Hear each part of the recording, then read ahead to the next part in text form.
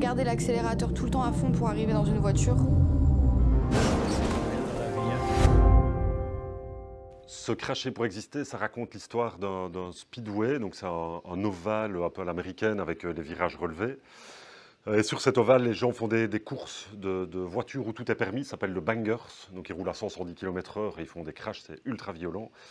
Et euh, le documentaire parle de l'histoire de cette communauté qui fait ses courses, et cette communauté arrive à un moment clé, puisque le Speedway est... Il y a une annonce de, fermeture au Speedway, et donc du coup, euh, le, Speedway est en suspens.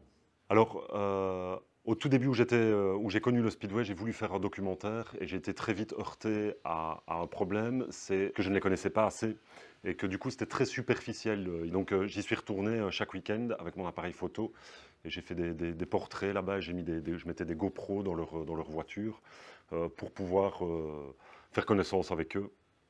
Et euh, dans le but de faire, de faire un long métrage de fiction, mais avant le long métrage de fiction, mon producteur m'a gentiment dit de faire un, court métrage de fiction que j'ai fait, qui s'appelle Lynx.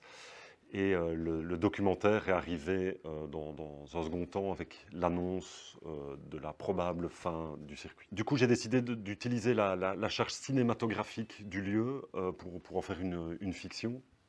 Et c'est pour ça que je suis parti vers là. Et à, l'annonce de la fin du, Speedway, de la, possible fin du Speedway, là, j'ai décidé de prendre la caméra et d'aller plus proche d'eux, comme je les connaissais euh, assez bien. Ça faisait cinq ans que j'étais là-bas, j'avais déjà fait une fiction là-bas, donc euh, on avait un rapport qui était déjà, euh, qui était déjà assez...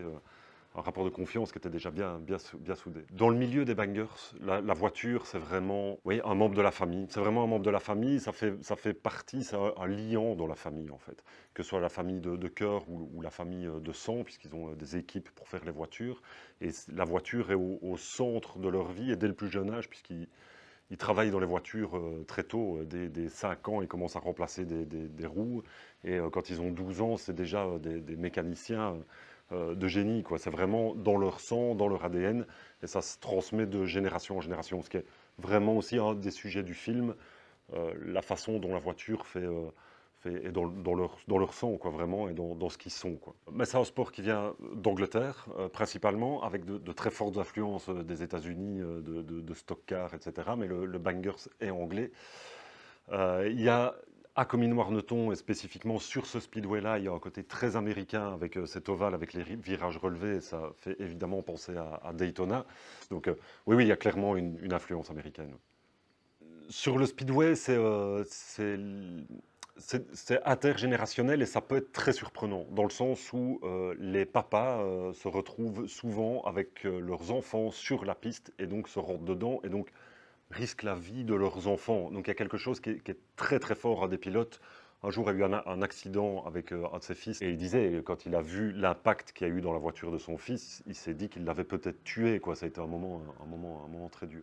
Pour moi, dans le monde du banger, il y a une facette autour de cette discipline c'est l'adolescence. Même si jamais il y a les, parents qui sont là, la transmission, etc., il y a un côté de... Les parents, et on le voit dans le documentaire, sont fiers quand leur enfant euh, fait un accident. Ils sont fiers de ça. Le premier accident de leur, euh, de, leur enfant qui a, qui a, 15 ans, ils sont, euh, ils, sont hyper fiers, ce qui n'arrive jamais, jamais ailleurs. Le, crash est, central et quelque chose de, d'adolescence parce que c'est un endroit de liberté. En fait, ce crash, ils sortent vivre quand, quand ils font ces crashs parce qu'il bah, y a l'adrénaline déjà tout simplement de façon assez basique et puis il y a le fait d'être reconnu par leur communauté.